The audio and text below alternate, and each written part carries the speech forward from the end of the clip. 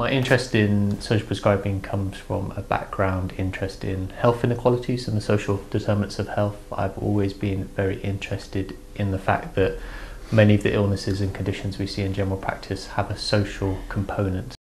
In City and Hackney CCG, we started to develop social prescribing um, by doing a pilot project. So uh, we chose half of the practices uh, in the area to have social prescribing and half of the practices uh, just carried on as usual um, so that we could evaluate the effectiveness of the project.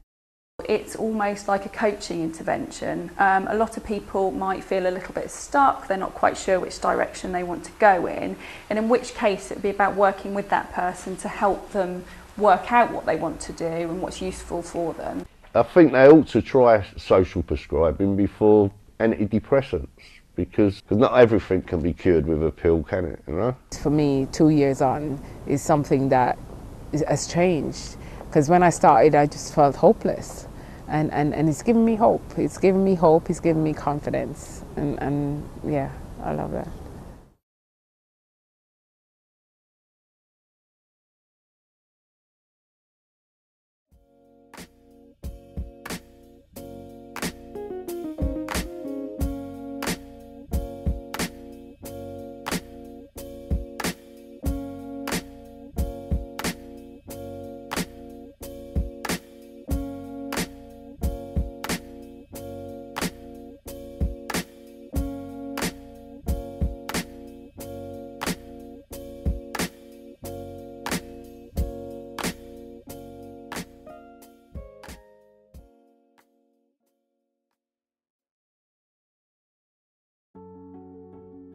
I became a young commissioner because of my living experience living with diabetes and I wanted to improve the diabetes services out there for young people.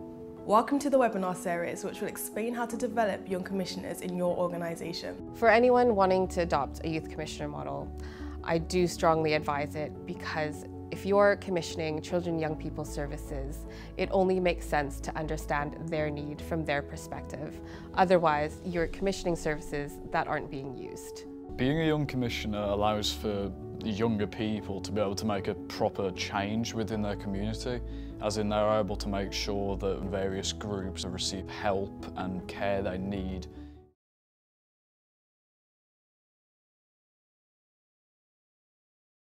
The aim of my research was to actually engage young people to find out exactly what do they know and what don't they know. And I found that 72% actually consider themselves to be European which, which was a positive sign. Uh, 81% didn't really know that much about how the European Union impacts on their daily lives. And even more young people didn't know or couldn't connect with the European Commission. How surprising were those findings? It, it wasn't totally surprising because if you was to ask a group of adults the same questions, I'm sure they would have gave similar answers. But part of the kind of findings, what I came, what came out to me, was the fact they wanted more information, they wanted more credible information.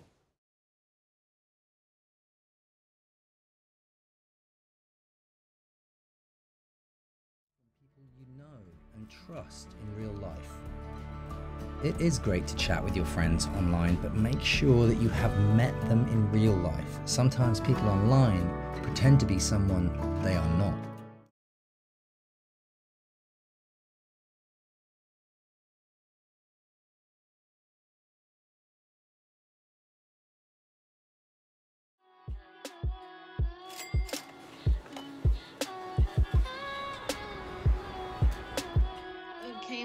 Mom, I finished my schoolwork. Yo, bro. Hey, bro, it's been a long time.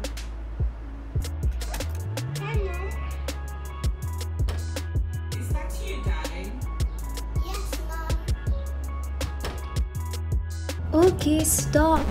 This could have been a different story. When you're out of your house, you've got to make sure there is a 2 meter gap between you and another person.